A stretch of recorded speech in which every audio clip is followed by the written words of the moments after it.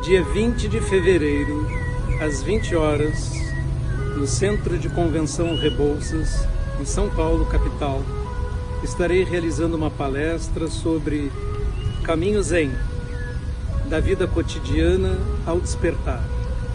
Quero convidar a todos que estejam interessados em uma palestra sobre a prática do Zen e a meditação, que estejam lá comigo para aprofundarmos esses conhecimentos.